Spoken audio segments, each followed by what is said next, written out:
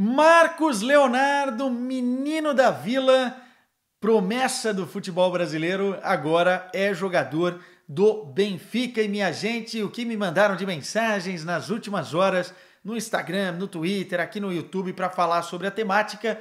E cá estamos para debater e trocar essa ideia com vocês. Eu digo trocar uma ideia porque eu vou falar, é óbvio, a minha opinião sobre a negociação como um todo, sobre o jogador, enfim, sobre encaixe no Benfica, sobre vários temas aqui, mas eu quero ouvir de vocês também.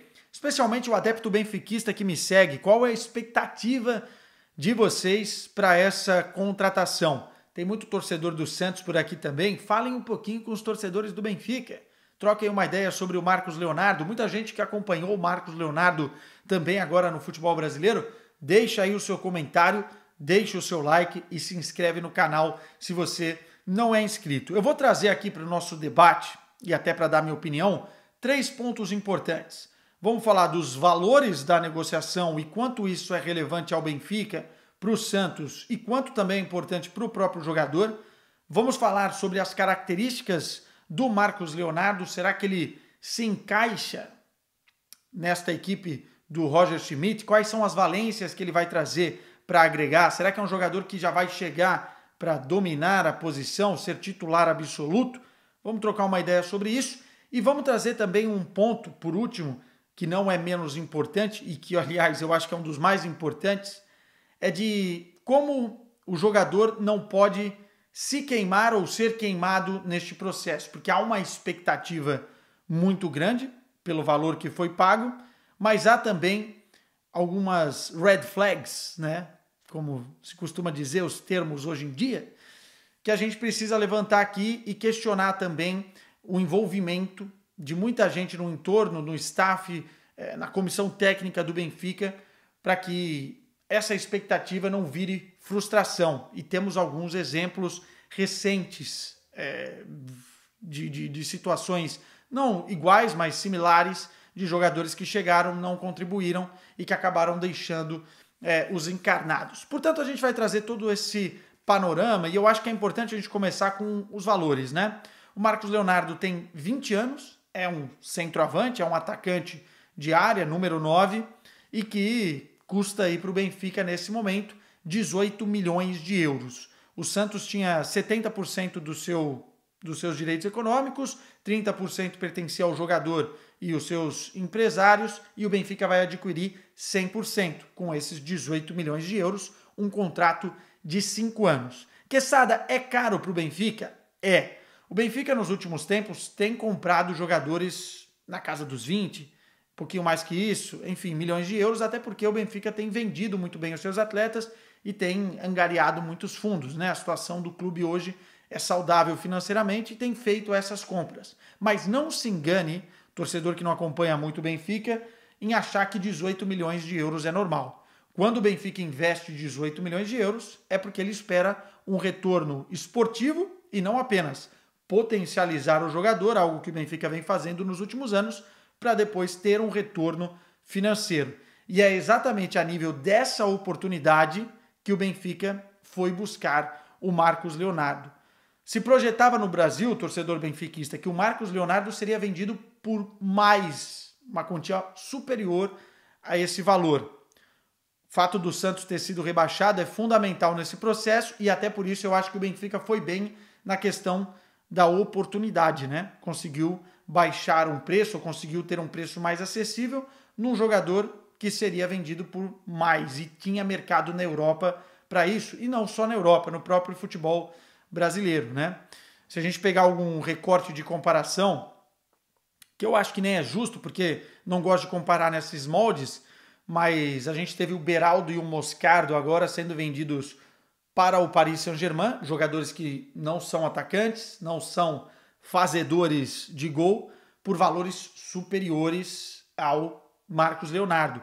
E se a gente pegar as grandes promessas do Brasil é, em termos de atacantes, de centroavante, tanto o Hendrick, que é mais novo, tem 17 anos, quanto o Vitor Roque, que tem 18 anos, não estou comparando qualidade de jogadores, mas estou colocando no balaio de atacantes. Aí a gente vê uma disparidade muito grande de valores, o Vitor Roque podendo chegar inclusive a 74 milhões de euros para o Barcelona. Então, 18 milhões de euros é um valor acessível para aquilo que se projetava ao Marcos Leonardo e, obviamente, que esse valor tem a ver com a necessidade do Santos de vender o atleta agora. Foi bom para o Santos? Acho que sim, especialmente por alguns fatores que aconteceram no final é, da última temporada, algumas rusas que a gente já vai falar aqui um pouquinho mais para frente, e também porque o Santos precisa do dinheiro agora, até pelas cotas de televisão, pela situação que o Santos vai encarar em 2024. Não é fácil para o Santos estar na Série B e vai utilizar bem esse valor. É importante para o Santos, então, nesse momento. Foi bom para o Marcos Leonardo? Acho que sim, se ele souber aproveitar a oportunidade, porque o Benfica é um time que potencializa jogadores e que depois pode ser o primeiro passo no futebol europeu para passos mais ousados ou para maiores é, atmosferas, né? tubarões do futebol europeu. O cara ir bem hoje no Benfica significa que ele estará numa vitrine muito apetecível para dar um salto e depois ir para um Barcelona, um Real Madrid, um Manchester City, um Manchester United, um Bayern de Munique, enfim, clubes com um poderio financeiro ainda maior. Então, para o jogador foi muito bom. E obviamente que o Benfica não vai pagar 18 milhões de imediato, vai parcelar esse valor. Aliás, por meio do seu diretor esportivo, Benfica foi captar recursos também em solo brasileiro e por isso viu essa oportunidade. Nós estamos falando da negociação do João Vitor com o Vasco, do Lucas Veríssimo com o Corinthians. Um dinheiro vai entrar de imediato e esse dinheiro vai ser realocado nessa aposta de uma das promessas do futebol brasileiro. Muita gente aponta o Marcos Leonardo como uma opção viável para ganhar chances na seleção brasileira nesta próxima década, neste próximo ciclo, vamos colocar dessa forma. E aí eu vou começar a falar um pouquinho das características do jogador que eu tenho acompanhado bastante jogos do Santos nessa última temporada e não só, na temporada anterior também. E dá para a gente falar do Marcos Leonardo, que ele não é o típico número 9 que guarda a posição. Aliás, em termos físicos, ele já não é esse jogador, né? Ele tem 1,74m e na casa dos 85 quilos. É um cara muito forte, muito parrudo é, e que consegue dentro dessa característica também levar vantagem nos duelos individuais, mas não é aquele cara que gosta de jogar de costas para o gol, posicionado dentro da área, que vai fazer gols de cabeça, que vai estar tá lá sempre vai ser o homem da finalização do toque final. Ele se movimenta muito, ele gosta de jogar de frente para o gol. E até por isso cai pelas beiradas, enfim, tem repertório no um contra um, gosta muito de conduzir a bola em velocidade, ou seja, na transição ofensiva rápida, ele é muito importante, não apenas para ser o homem da finalização, mas o homem da condução e depois da distribuição. Ele aciona muitas vezes os seus companheiros e depois vai ser o homem da finalização é, lá na área. É um cara que, no um contra um, como eu disse, é forte, tem repertório na frente do goleiro, bate muito bem de esquerda, bate muito bem de direita e faz gols realmente de puro talento. Cavadinha, driblando o goleiro. Eu acho que em termos de bola, de talento, dos centroavantes que o Benfica tem neste momento, até pelas características, ele é o mais talentoso. Arthur Cabral e Musa, jogadores mais posicionais. O Ten Stegen é um jogador mais técnico e tático em algumas ações dentro de campo. Mas eu acho que o Marcos Leonardo tem um molho diferente nesse sentido. Não quer dizer que vai se encaixar tão bem como outros jogadores que eu citei aqui, mas ele tem realmente algo diferente, diferente é, nesse quesito. No time do Roger Schmidt, especificamente, eu estou curioso para ver, porque eu acho que, como ele é muito forte fisicamente, numa das características do, do, do, do Benfica, do Roger Schmidt, que é a pressão alta e a pressão pós-perda, se ele conseguir se entender bem com as diretrizes do Roger Schmidt, eu acho que vai ser interessante, porque ele gosta realmente de ser esse cara mais combativo lá na frente, tem essas características e é forte fisicamente para entregar os 90 minutos dessa maneira. Obviamente que vai ter que ter uma adaptação aí é, a intensidade do, do futebol português, a intensidade do Benfica. Eu acho que isso vai demandar um pouquinho de tempo e um pouquinho de paciência. Eu não acho que ele, ser, ele vai chegar para ser titular, indiscutível, absoluto desse Benfica, até por conta de dois fatores fundamentais: o encaixe nas dinâmicas da equipe. Ele vai chegar basicamente no meio da temporada, onde muitos processos já estão estabelecidos, ele vai ter que cortar caminho para se entregar, integrar nesses processos. E mais do que isso, ele acabou de sair de uma temporada longa e desgastante com o Santos, com muitos, muitos minutos, muitos jogos nas pernas, e agora está num período de férias e volta basicamente para fazer uma pré-temporada. Até por isso o Benfica quer acelerar essa vinda do jogador, deve chegar nessa semana, quinta ou sexta-feira, aqui em Portugal. Mas a verdade é que nesse primeiro momento eu acho que o torcedor do Benfica, o adepto, vai ter que ter paciência, porque ele chega para mim para ser lapidado nesses próximos seis meses tem que estar tá, tá machucado, é verdade. O Arthur Cabral não está tão integrado. Talvez o Musa ainda seja negociado, mas eu vejo o Marcos Leonardo para se adaptar nesse primeiro momento, talvez ganhar uma certa importância, uma certa relevância, porque futebol tem dessas coisas. Dependendo, o cara entra, marca um, marca dois, vai ganhando confiança, vai ganhando ritmo, vai se entrosando e a coisa acontece. Mas, no meu entender, ele é muito mais um jogador para ser adaptado e potencializado pensando na próxima temporada. Vamos ver como isso acontece, como isso flui. Mas eu acho que dentro do que o Benfica procura de um centroavante, ele pode se adaptar nesse sentido. Eu vejo ele também com alguns movimentos parecidos. Não dá para comparar em termos de, de, de totalidade, mas dá para a gente comparar alguns movimentos parecidos com o Gonçalo Ramos, especialmente ao ataque aos espaços dentro da área, ao ataque ao primeiro poste para receber cruzamento e também se movimentando nas costas da defesa. Vejo algumas similaridades e até por isso talvez o aval do Roger Schmidt para essa contratação.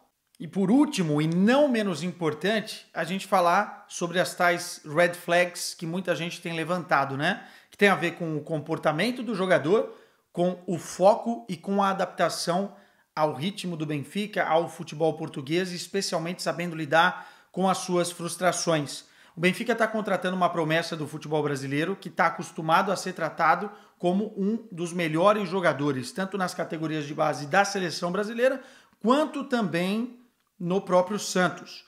Era ídolo da torcida, ou é ídolo da torcida, menino da base, protagonista, acostumado a ser bajulado. E o Benfica está pagando 18 milhões de euros nesse atleta mas não significa, isso tem que ficar bem claro para o próprio Marcos Leonardo, que ele vai chegar e sentar na janelinha, como diria já o outro poeta do futebol.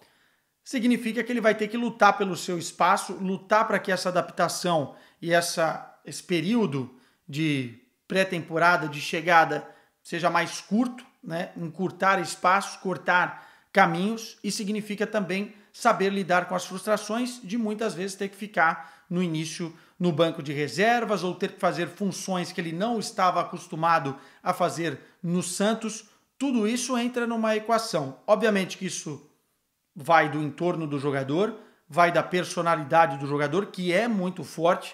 A gente sabe que o Marcos Leonardo entende o tamanho do seu talento, e isso pode ser uma faca de dois gumes, para o muito bom, quanto também para se achar superior e também vai para o entorno, responsabilidade no staff do Benfica. Talvez o Luizão tenha uma parte muito especial de fazer o jogador entender o que é o Benfica e também saber lidar com essas frustrações que certamente irão acontecer. E o torcedor encarnado tem preocupações, porque não é bobo e pesquisa sobre o Marcos Leonardo, que teve problemas comportamentais num passado recente inclusive frustrando muito a diretoria do Santos e parte dos torcedores por conta do seu comportamento na reta final do Campeonato Brasileiro. Né? Viagem para jogar contra o Atlético, chegou atrasado, quase não foi. Enfim, a diretoria contemporizou, mas a gente sabe o que aconteceu. E mais do que isso, mais do que isso, tem também a questão de não aceitar bem o banco de reservas. E aí o cara pode começar não estou falando que vai ser o caso, mas estou especulando porque a gente já viu acontecer. Começar a se frustrar, treinar mal, não corresponder, achar que é injustiçado receber o apoio de um monte de gente que fica no redor do cara falando: ah, não, você é, é muito especial, o treinador que está errado, enfim. E aí o cara vai caindo num buraco que depois é difícil voltar, é difícil recuperar o espaço, é difícil chegar e ter o sucesso que todo mundo espera que tenha dentro do futebol português.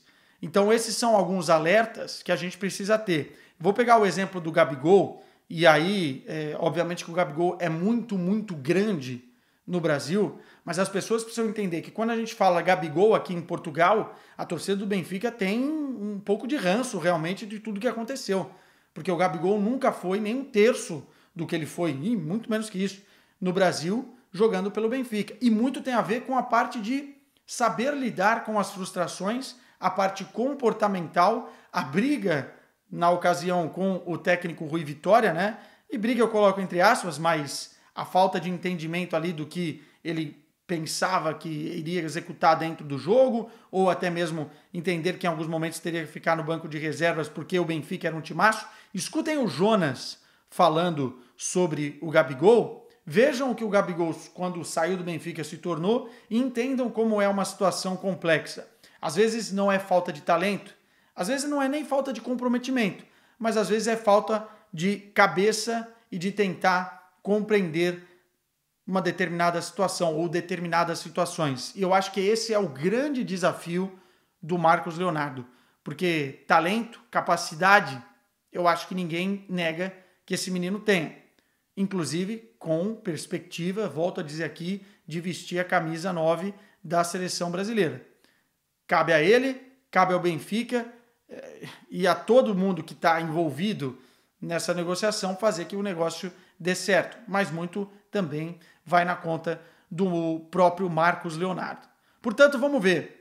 Para mim, que trabalho com futebol português para uma televisão brasileira, para um canal brasileiro, é muito legal ver o Marcos Leonardo chegando no Benfica. A expectativa também é muito alta.